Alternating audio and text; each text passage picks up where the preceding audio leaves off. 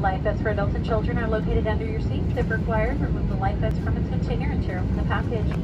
Remove the life vest from the pouch. Place the life vest over your head with the panels at the front. Secure the strap around your waist and fasten in the front. Ensure the strap is secured tightly by pulling on the loose ends. As you exit the aircraft, inflate your vest by pulling down on the red inflation tab and blowing into the red tube. All life vests have a water-activated locator light. Flight attendants will distribute life vests for infants as needed. Allegiant is a non-smoking airline located throughout the cabin and no smoking and fasten seatbelt signs. Smoking, vaping, and the use of all tobacco products are prohibited at all times. Federal regulations require passengers to observe these signs and comply with your member instructions. It is a federal offense to tamper with, disable, or destroy laptops while detention. Please fasten your seatbelt, start your tray table, and all carry baggage as we prepare for takeoff.